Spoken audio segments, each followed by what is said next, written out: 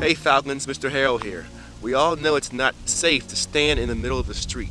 We also know it's not safe to be on YouTube without some kind of safety mode. YouTube does offer a safety mode.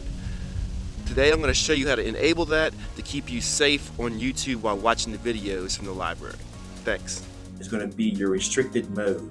Click your little icon, your face up there, your profile picture, and you scroll down to the very, very bottom you click on to restricted mode. And just make sure yours is on. By having this mode on, it helps you watch videos appropriate for your age level. One more thing about YouTube is that there is also a autoplay that you can enable or disable. If you have it on, YouTube kind of just throws videos at you based on what you were watching. So it's important to keep the autoplay off so you can control what you see, when and where and how you want to see it.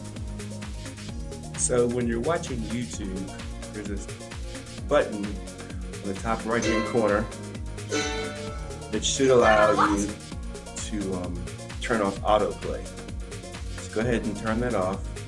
And now when your video stops, you will not get any more videos to upload or show on your screen. So I'm back at South Salem now and I've just completed this video about YouTube safety. Hopefully it helps you. If you have any questions, please let me know. Um, the purpose of having the YouTube channel is so you can have access to share information when needed. Okay, thanks.